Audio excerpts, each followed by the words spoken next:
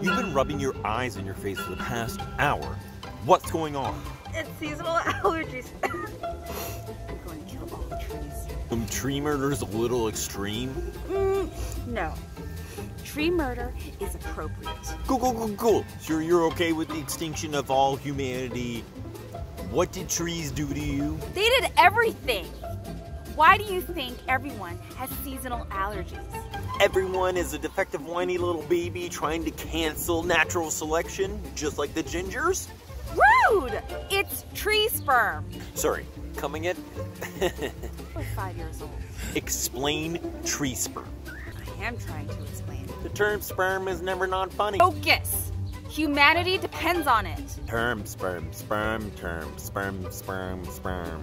Did you know that over time, developers and planners have only been planting male trees that don't bear any fruits or flowers, just releasing boatloads of pollen, aka tree cum. Blowing my mind more than the trees being blown by the wind, then coming. The Guardian called it botanical sexism. Trees are getting more action than me? Oh my god, I've opened a door. To clarify, for all of modern history, seasonal allergies is centuries of people breathing in tree cum. People need to know about the tree cum. Sperm, sperm, term, sperm, term, term. It'd be nice to talk to an adult about seasonal allergies about any time now. Everyday citizens, oblivious to literally taking it in the face from a balsam tree. Are you gonna grow up by the end of this conversation? Seasonal allergies, a tough pill to swallow. Yes. It's a lot to process. Could say all this tree cum business is nuts. You try to live with tree sperm in your lawn. Oh, your face! Now I'm breaking out. That's it. No, no, I can't let you do that. Give me the No, no, axe. stop! Can't live this lie any longer. I'm the tree, coming all the tree sperm. You're a tree? You have to let me go. We can't be together. I can't keep killing you with my tree cum. I'm sorry. I'm sorry too.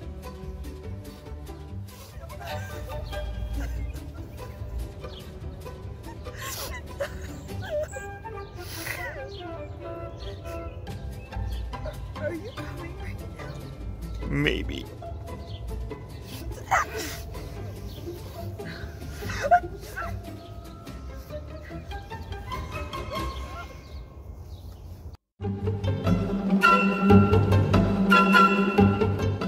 Are you crying because you have to work with me? Why do you throw a chip at me? Fucking torture. Not working with Ryan Kotack is the worst decision I have ever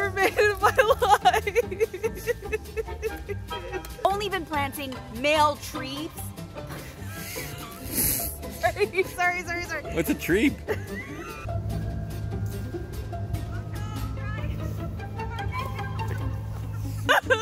Why? Why am I working with Ryan Kotack? This is a warning